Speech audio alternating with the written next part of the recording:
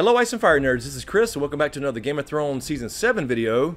Well, I guess this is just a Game of Thrones video. I have a cool little parallel I thought of the other day. You know, we have the whole Song of Ice and Fire thing. We have Danny being fire, Night King being ice, and of course Jon represents both ice and fire. And of course that's the big end game in our story, the great game so to speak, what Tyrion calls it. But there's certainly another game going on that kind of parallels this ice and fire thing a little bit. That is Littlefinger and Varys. Dracarys.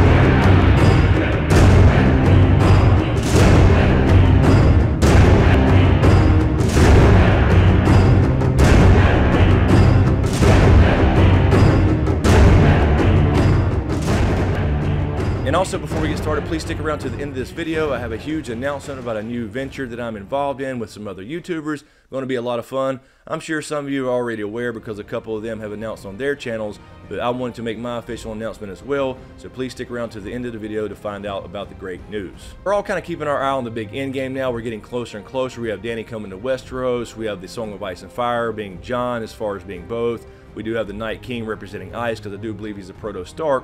We also have another game with Littlefinger and Varys, and the game they're playing and how they've manipulated things, but for very, very different reasons. But I think it's a great parallel to the whole Ice and Fire thing. So are we kind of overlooking that game being played at the same time as the major events in our story, and how will that game end? So first off, we have Littlefinger. You know, he started this whole damn thing getting the Lannisters and the Starks at each other's throats, figuratively and literally. And of course, it was Catelyn who acted on it because she's just an asshole. But the point being here that Littlefinger has been manipulating things from the get-go. And of course, he is the major reason why we have a lot going on today in Westeros as far as all the war and conflict. Now, of course, this goes for Varys as well, although this was for very, very different reasons. So you had Littlefinger manipulating events with the whole dagger thing, trying to get the Starks and Lannisters at war, which mm-hmm. apparently worked. He's gained a lot of power from this, and he's doing this all from a selfish perspective. And then, of course, we have Varys, who manipulated a lot of events in Westeros as well, in league with Illyrio, of course, to bring Danny over and take over the Iron Throne as far as the Targaryen restoration. Again, this is a little bit different than the books. He does support Aegon, but I got to imagine this is probably going to end up kind of the same in the books as well. But the point being here that Varys, being the master of whispers and all the knowledge he has in his backstory about his root and stem being removed, root and stem, has driven him to do something bigger and better. And I think he truly believes he's doing the right thing for the realm. And of course, he's manipulated quite a few things along with Illyrio. He got Danny wed to Khal Drogo, and I think the whole thing with Khal Drogo was for her to kind of learn the world and kind of be trained to be a queen, so to speak, in some way to kind of expose her to things that she hasn't been exposed to yet. Of course, we had Illyrio give her dragon eggs as a wedding gift, which is suspicious to say the least. And of course, Varys also has recruited many people to Danny's cause, including Tyrion Lannister, and Tyrion is going to be a huge player in the endgame of our story.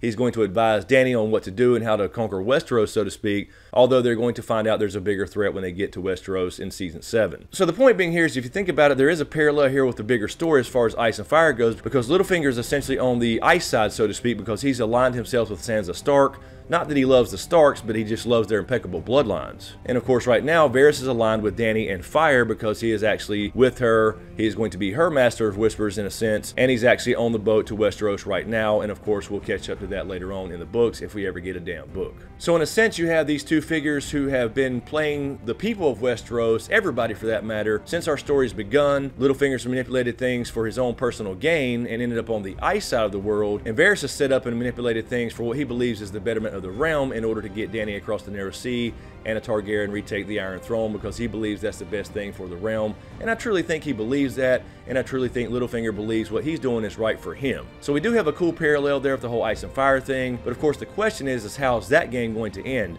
Will Varys and Littlefinger see each other again? And if so, how's that going to end? Is Varys going to be responsible for actually killing Littlefinger? Now, James and I have talked about in our last few Q&As, and our live Q&As for that matter, a lot of people have asked, how do I think Littlefinger will die? And I've been saying, you know, likely it's going to be due to Sansa, and I certainly hope it is. I think Sansa may give the order to Brienne to do that, perhaps Arya when she gets back to Winterfell, because Littlefinger will try to manipulate Sansa into not believing in Jon as king in the north. He's going to tell her she should be the rightful queen in the north or lady of Winterfell, whatever, because she's the true-born Stark. Then, of course, we're going to have Bran coming back through the gates as well. So, for a little book spoiler here in A Dance with Dragons, Varys is actually responsible for the death of Kevan Pycelle in order to make arrangements, so to speak, for Aegon to come conquer Westeros. In this case, it's going to be Danny in the show.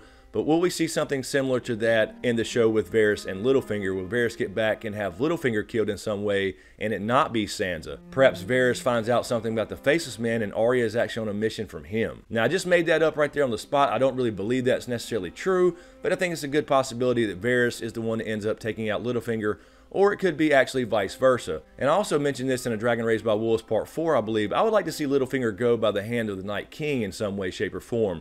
He's aligned himself with that ice side, as I was talking about with the parallel. And wouldn't it be cool if he was doing all this stuff only to be the King of the Ashes, but in a very unnatural way? So it'd be very cool for him to die in such a way where he doesn't believe in ghosts and goblins and snarks and white walkers and all that good shit, but ends up that the very thing he doesn't believe in ends up being the thing that takes him out. So anyway, guys, let me know what you think in the comments below. Will Varys and Littlefinger meet again? And will Varys be responsible for the death of Littlefinger? Or will it be Sansa like a lot of us think? Or perhaps even the Night King? Let me know what you think in the comments below. And also, before we get out here, let me talk about my big announcement really quick. I'm really, really excited about it. So I have a new podcast we're calling The Side Effect that I'm doing with several of the YouTubers. And we're going to be talking about a lot of different things. We obviously will be talking about Game of Thrones, Star Wars, The Walking Dead, etc. But we're also going to be doing movie reviews, trailers, etc. And we have our first episode coming out this week.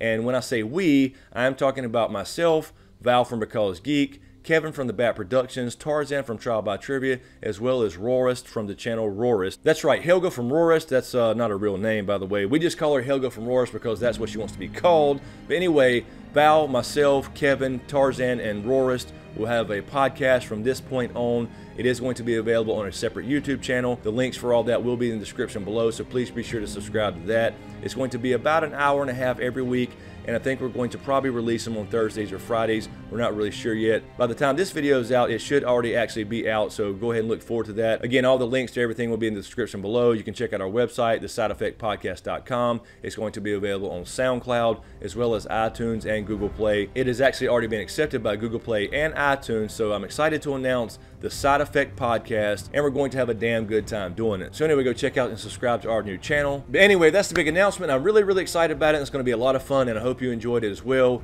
You know, we'll got a few things to work out. It will be segmented, but anyway, we're going to get that hammered out as we go, and of course, we'll get better as we go because we're all fairly new to podcasting. But anyway, as usual, thank you for all the support, especially to you guys on Patreon, and a huge shout out to my executive Patreon Smokescreen producers, Paul Griffin, Vol Guy 10, Lala Gig, Kisa Powell, Marilyn Bentley, Mark Joseph, aka the Snow and Winterfell, Joanna, Sean Hayes, and Anonymous. Thank you guys so much. I really, really appreciate the support. Be sure to subscribe to get everything. Thanks for watching, and we'll see you